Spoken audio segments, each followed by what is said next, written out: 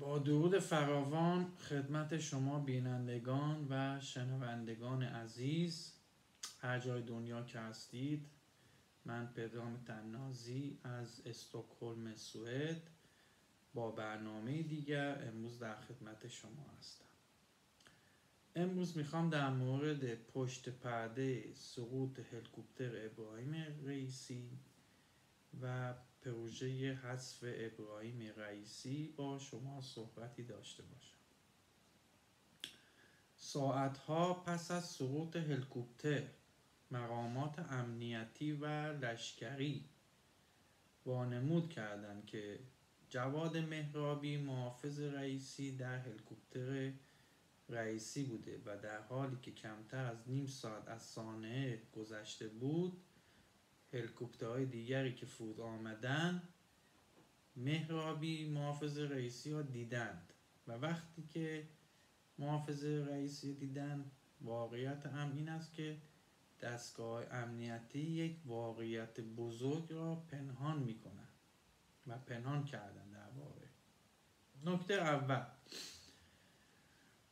چطور جمهور یک کشور پرواز می‌کنه با اون دو هلیکوپتر دیگر. و خب به قول معروف بهترین هلیکوپتر رو برای رئیسی انتخاب کرده بودن. به نقل قول از خودشون و خبرگزاری جمهوری اسلامی و به گفته خودشون. نکته دوم. این سه تا هلیکوپتر که همراه هم بودن وقتی که هلیکوپتر ابراهیم رئیسی گم میشه هیچ صدایی از اون دو هلیکوپتر در نمیاد. وقتی گفتن که ما دیدیم که یه دود سیاهی از اون هلیکوپتر اومد بیرون خب یه دود سیاه از اون هلیکوپتر اومد بیرون. چرا ساعت ها طول کشید برای یافتنش؟ اگه شما یه دود سیاه از این هلیکوپتر وای مرسی دیدید به حال می‌دونید که در واقع در کجا سقوط کرده. و چرا اینقدر ساعت ها طول کشید؟ مثلا ده ساعت دوازده ساعت طول کشید بعد از در دوازده ساعت با کمک های نیروهای امدادی و ارتش و سپاه همه که با هم بسیج شده بودند که برن هلیکوپتر رئیسی پیدا کنن موفق نشدن و دست آخر هم مجبور شدن که به کشور ترکیه بگن که و کشور ترکیه هم با پهبادش تونس بیاد اونجا رو اون محله که احتمال می‌دادن که هلیکوپتر سقوط کرده. نیم ساعت یه ساعت طول کشید تا اون تا آخر تونستن که اون هلیکوپتر ابراهیم رئیسی پیدا کنن. یعنی در واقع اون بعد از ظهر این اتفاق افتاد و تا صبح ساعت چهار پنج صبح ادامه داشت. خب این از این. و نکته که خیلی مهمه اینه که جنازهایی که سوخته شده بود. جنازهایی که سوخته شده بود و تکه تکه و پاقه شده بود جنازه ابراهیمی رئیسی بود و امی عبداللهیان ولی در صورت که جنازه امام جمعه موقت آذربایجان شرقی سالم بود و استانداری آذربایجان شرقی هم جنازه سالم بود. هیچ مشکل نبود. ولی در صورت که جنازه ابراهیم رئیسی و امی عبدالله یا مخصوصا جنازه ابراهیم رئیسی توی کفن حتی نتونسته بودن که قسلش بدن. و لای پاچه و لای به معروف پلاستیک و همه چی پیچیده بودن که فقط همون جوری ببرنش خاکش بکنه. خب این هم یکی از نکاتی بود که خیلی مشکوک بود. و نکته که خیلی مهم هست اینی که رفتار خامنه ای وقتی که اومد پیام داد نه اثر از اشک بود و حتی اشکی هم که و ببخشید من یه کمی صوفه می‌کنم و اینا دیگه مذارت می‌خوام. و حتی اشکی که برای خامنی و حتی اشکی که برای قاسم سلیمانی ریخته بود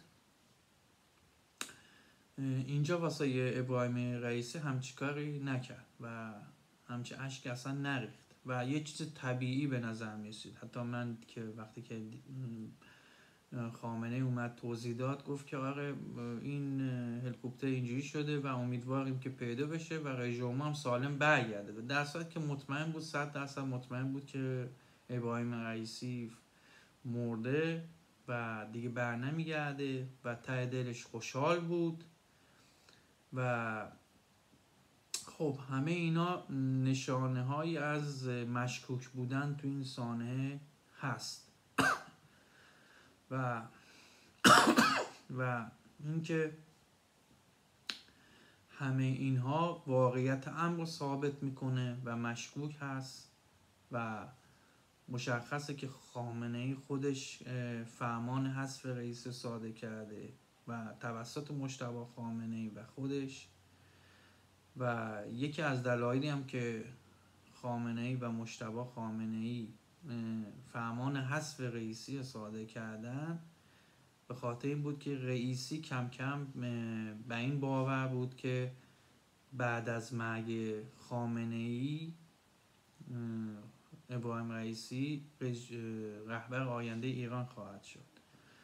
و به خاطر این مسئله و حتی قبل از سفرش به آذربایجان شرقی یه جلسه دولت هم داشته بود که این جلسه دولت یه سه صحبت های می‌کنه که به مزاج بیت رهبری خوش نمیاد که گفته بود که آره ما یه سری مشکلاتی هست یه سری حرفا هست که نمیشه اینجا بزنیم نمیشه تو این تریبون بزنیم یه سری اختلافاتی هست.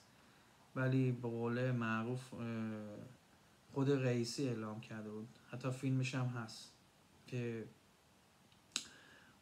آقای شهید بهشتی میگه که ما باید به قول معروف یه سری حرفا رو نباید بزنیم و منم حرف آقای شهید بهشتی رو گوش می‌کنم و برخلاف نظر رهبری فعلا صحبتی نمی‌کنم و سکوت می‌کنم و, و دو سه مرتبه این صحبت کرده بود که من سکوت می‌کنم.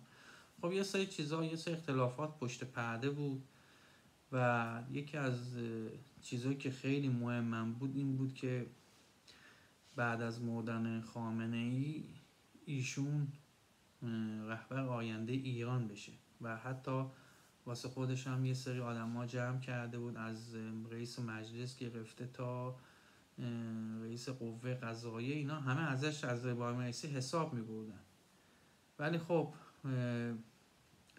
به این باور رسیده بود که ایشون رهبر آینده ایران خواهد شد و مشتبه خامنه و خود خامنه دستور حذفش صادر کردن و دیگه این به قول معروف این صحبت ها و این حرف و حدیث هایی که تو ایران دارن به خورد مردم میدن اینا همش واقعیت نداره و مردم هوشیار باشید آگاه باشید و این صحبت هایی که اونا دارن می‌کنن اینا همش حرف مفته. و اینا به قول معروف خودشون کار خودشون بوده و به قول معروف هم نباید به حرف اینا گوش کنید. جمهوری اسلامی 45 سال 50 سال داره همجور دروغ میگن. اینا حکومتیه که بر پایه دروغ برپا شده. و تو این چلو اندی سال هم همش دروغ و دروغ به خود مردم دادن و شما توجه نکنید. اصل مطلب همین بوده و دیگه غیر از این چیزی دیگه هم نیست. با درود فراوان و خدمت شما بینندگان موفق باشید هر دنیا که هستید و امیدوارم که لذت بوده باشه از این ویدیو. تا آینده دیگر بدرود.